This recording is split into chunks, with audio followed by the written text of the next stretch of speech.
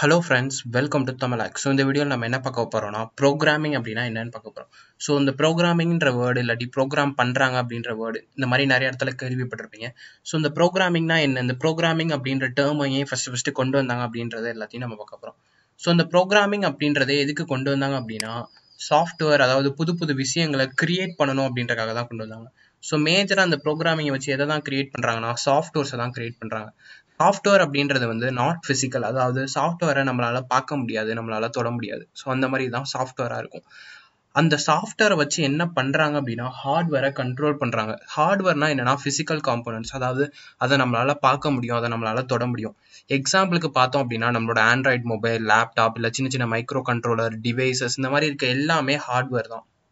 இந்த மாதிரி ஹார்ட்வேரை நம்ம ஏதாச்சும் ஒரு ஒர்க் வைக்கணும் அப்படின்னா நம்மளுக்கு அந்த இடத்துல அதை கண்ட்ரோல் பண்றதுக்கு நம்மளுக்கு என்ன தேவைப்படுதுன்னா சாஃப்ட்வேர் அப்படின்ற ஒரு விஷயம் தேவைப்படுது. ஸோ சாஃப்ட்வேர் அப்படின்ற அந்த ஒரு விஷயத்த கிரியேட் பண்ணணும் அப்படின்றக்காக தான் ப்ரோக்ராமிங் அப்படின்னு ஒன்று கொண்டு வந்தாங்க. ஸோ ப்ரோக்ராமிங் அப்படின்னு கொண்டு வந்ததுல நிறைய சப் டிவிஷனா ப்ரோக்ராம்ஸ் அப்படின்னு கொண்டு வந்தாங்க. ஸோ இந்த மாதிரி ப்ரோக்ராம்ஸ் நிறையா கொண்டு வர ஆரம்பிச்சிட்டாங்க. ஸோ அந்த மாதிரி ப்ரோக்ராம்ஸ் தான் C C plus plus Java இந்த மாதிரி டிஃப்ரெண்ட் டிஃப்ரெண்ட் ப்ரோக்ராம்ஸ் வச்சு டிஃப்ரெண்ட் டிஃப்ரெண்ட் நிறையா சாஃப்ட்வேர்ஸ் கிரியேட் பண்ணாங்க. ஸோ அந்த சாஃப்ட்வேர்லாம் யூஸ் பண்ணுறதுக்கு நிறையா ஹார்ட்வேரை கொண்டு வந்தாங்க.